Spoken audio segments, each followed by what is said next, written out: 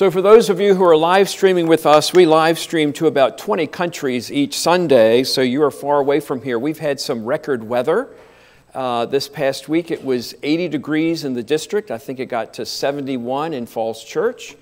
I had a doctor appointment that day and I went in wearing a t shirt and shorts. And the doctor says, Who are you trying to be wearing that? And I said, I'm trying to be a teenager. So, um, so you know, she kind of looked at me um, not very well.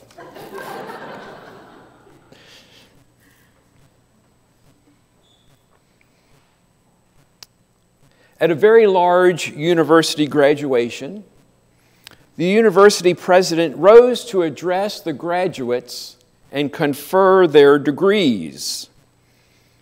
He began by explaining the meaning of the traditional Latin phrases used. If a student graduates cum laude, it means with honors. If a student graduates magna cum laude, it means with high honors. If a student graduates summa cum laude, it means with supreme honors.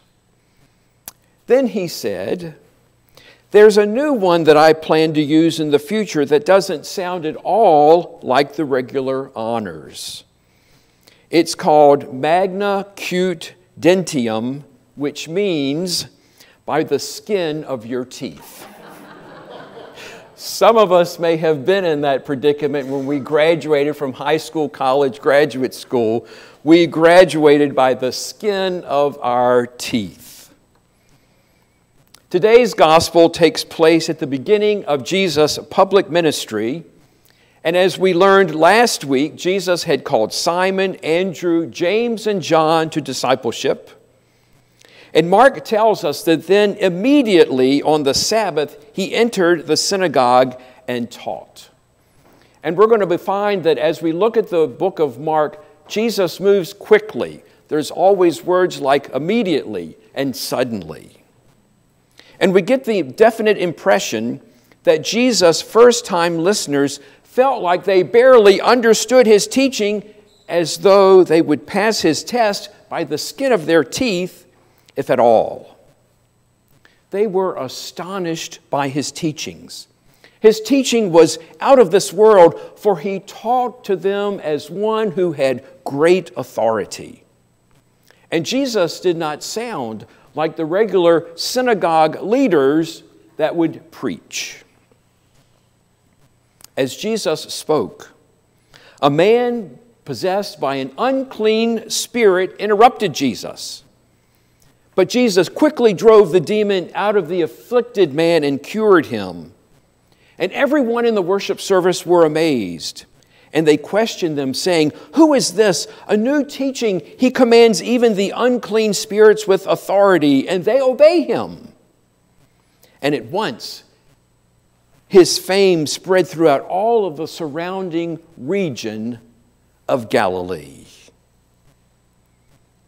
It is every public official's nightmare that as they are speaking, someone from the crowd will suddenly stand up and in a loud voice challenge them of what they're talking about or even heckle them. And we have seen that in the news media recently. President Biden, issues with Gaza and Israel. We see it in school board meetings about gender identity, college president issues, college protests. That same fear is for preachers who have spent years to prepare a meaningful sermon to be suddenly jarred by someone speaking out or shouting out. So please keep your thoughts to yourself. My biggest problem through the years has been the cell phone ringing, and that's kind of gone away. So I think everybody gets the message now. Think about if we were in that synagogue worshiping and Jesus is teaching. Think about when we are in this space worshiping and Pastor Dave is preaching or whoever is preaching God's Word. We're interested in Christ, we're fascinated by Jesus, we long for Jesus in our lives. But as we gather to worship this day, are we truly dedicated to Christ? Does our present signify that we acknowledge Jesus as the supreme authority in our lives, of someone who tells us what to do, of how we're to live? Do we look to Jesus or do we try to be our own authorities and then we find ourselves in a big, big mess? Think of our worship services. We work hard to ensure that everything is in the right place, to make the worship tame, make it safe. But Jesus is not here only to enlighten and illumine us, but He comes to bind us free, to transform our lives.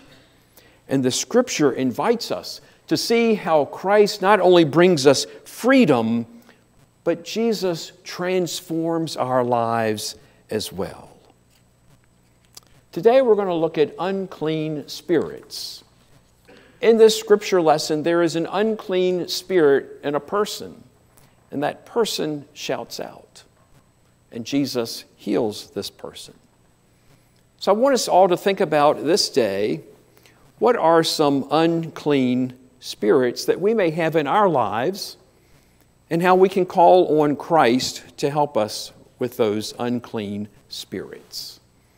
I'm going to name a few for you. You don't have to shout them out in confession, but I will share some that I have dealt with in my life and in my ministry and in the world of what I perceive as um, unclean spirits in our lives. And I have that for two reasons. One is that we're all sinners in need of redemption, and that we have unclean spirits. So, the first one that I have is the unclean spirit of racism. And you know, I've told you many times before, I grew up in a small southern town, um, a very racist uh, society. And when we, uh, my parents' age, when they tried to integrate schools, there was a lot of white flight, and um, my family stayed in the schools. I kind of tell people my seventh grade was 26 white kids and two black.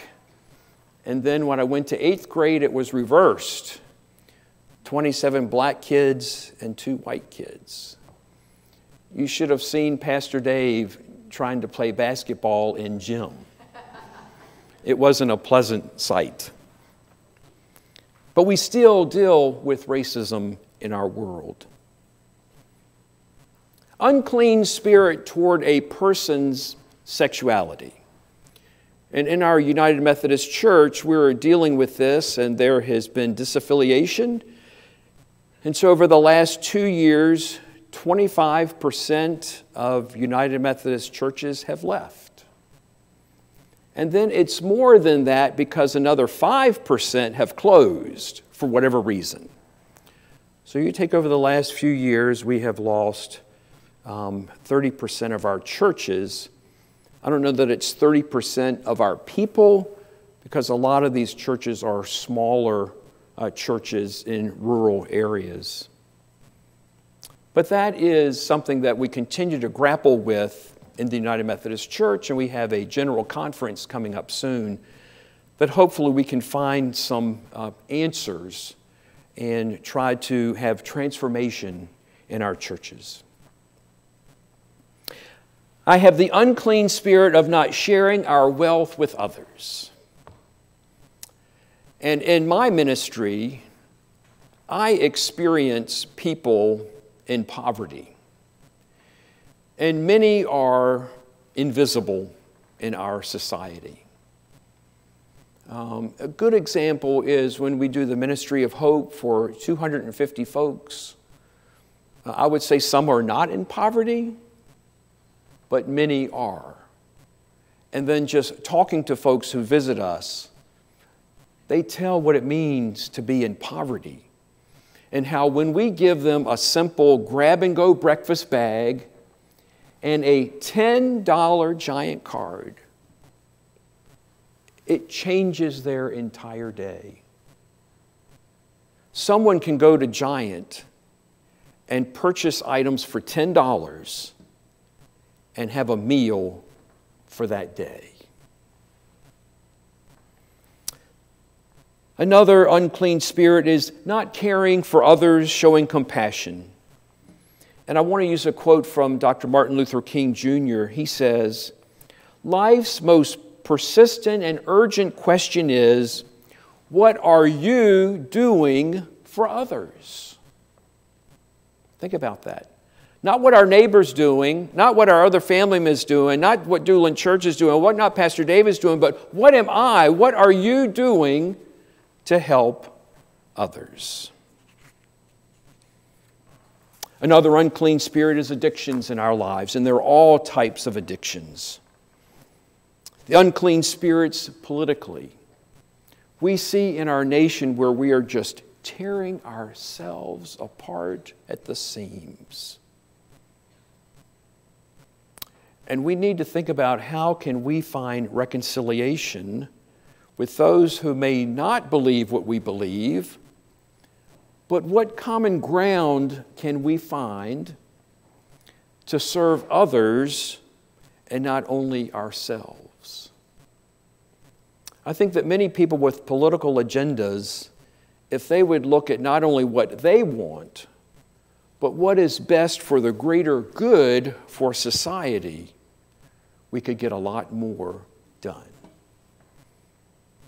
I know in my ministry of some 34 years now, I have said to myself each and every day when there is a decision that needs to be made, what is not best for Pastor Dave, what is not best for particular individuals, but what is best for the entire community of Dulin Church as we move forward to transform people's lives. Here's one I have unclean spirits in the church, gossip. People love to tell gossip. And the thing is that I have learned that when someone starts something, the next person likes to make it more exciting and exuberant, and then the next person and the next person. And then when it comes back to me, it's like, what in the world? And then, of course, I have to spend time backtracking it and then figuring out where it began. And then things turn quickly when that happens. Jesus fights unclean spirits in our world. And you know, one of the vows that we take when we are baptized is this do you accept the freedom and power God gives you to resist evil, injustice, and oppression in whatever forms they present themselves? People, freedom, we have a choice. Power, influencing others, we have that choice. And what is it that we're going to do? So think about ourselves in worship and what happens here in this room. We pray. We sing. We receive the bread and cup at communion. We share our concerns with others. We find this to be a quiet place in silence. We confess our sins. We hear God's word. We learn to forgive. We listen to the scriptures. And I would say to each and every one of us that as we move forward from this day, pull out your Bible, keep one in the car. I keep one in the car. And when you have those moments that you feel that this unclean spirit in our lives is just bubbling up, pull out and go to the Psalms. Go to Matthew, Mark, Luke, John. Go to Ecclesiastes, which means preacher. Turn to any of the scriptures, and there you will find God, and there you will find Jesus, and there you will find the Holy Spirit to help us with those conditions that hurt us in our lives. Remember what Jesus said to this man with the unclean spirit be silent and come out. So let this day, let this week be one of introspection. To look inside our hearts, to look inside our minds, to look inside of how we use our hands and feet to not serve only us, but to serve others. And that when we have issues in our lives, that we take time to not be impulsive and judgmental, but to step back and think, what can I do to make for the better good of a to show that I am a Christian, that I am a disciple of Jesus Christ, who is called to love and serve God and others. And my friends, that is the good news. In the name of the Father, Son, and Holy Spirit, and we all say together, Amen.